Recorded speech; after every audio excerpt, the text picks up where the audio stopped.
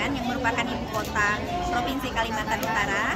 Kemudian ada Kabupaten Malinau, Kabupaten Nunukan yang tadi masuk di dalamnya ada Krayan dan uh, Sebatik. Kemudian ada Kabupaten Tanah Tidul.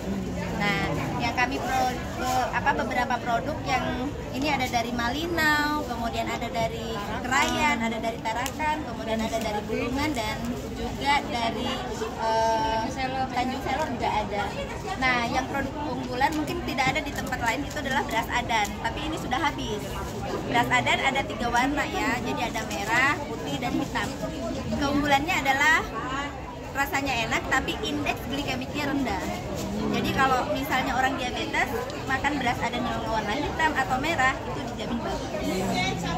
Kalau yang lainnya produk-produk ini merupakan produk berkualitas ya yang istilahnya ini sudah dilakukan ya pengrajin dari daerah kita bahwa ini sudah sudah sangat terkenal ya sudah inilah Sudah seluruh- uji, sudah ya, lulus uji. sudah lulus uji dan beberapa produk-produk seperti jahe merah dan produk-produk yang unggulan lainnya itu kita sudah ini juga yang satunya menarik adalah kain tenun asli. Boleh dibandingkan dengan harga-harga di gerai-gerai yang lain. Kita dengan tenun asli harga kita lebih murah. Padahal produk kita itu tidak kalah saing dengan produk lain. Seperti itu. Kualitasnya kualitasnya juga sama kak. Jadi kualitasnya juga tidak kalah dari produk-produk yang tenun asli lain. Tapi harga kita lebih di bawah. Ini eh, pembuatannya menggunakan eh, mesin manual eh, manual tradisional. tradisional.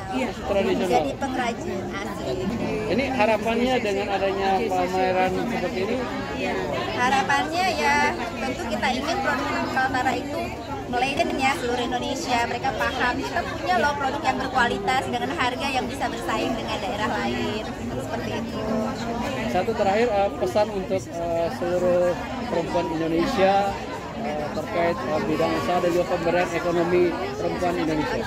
Kalau saya pribadi, saya berharap bahwa perempuan-perempuan Indonesia mau berinovasi melalui usaha. Satu kuncinya, jangan malu untuk mencari uang halal. Sekecil apa pun, kalau kita ingin berusaha, insya Allah berkah. Seperti itu. Ini saya dari Pulau Sebatik yang dihuni oleh dua negara, Indonesia dan Malaysia. Ini tadi kerajinan tangan yang dari rotan. Ini waktu zaman saya SMA dan masih awet sampai sekarang. Bisa di eh, tidak diragukan untuk hasilnya bahwa hasil kerajinan ini benar-benar awet dan bisa dibawa untuk eh, usaha.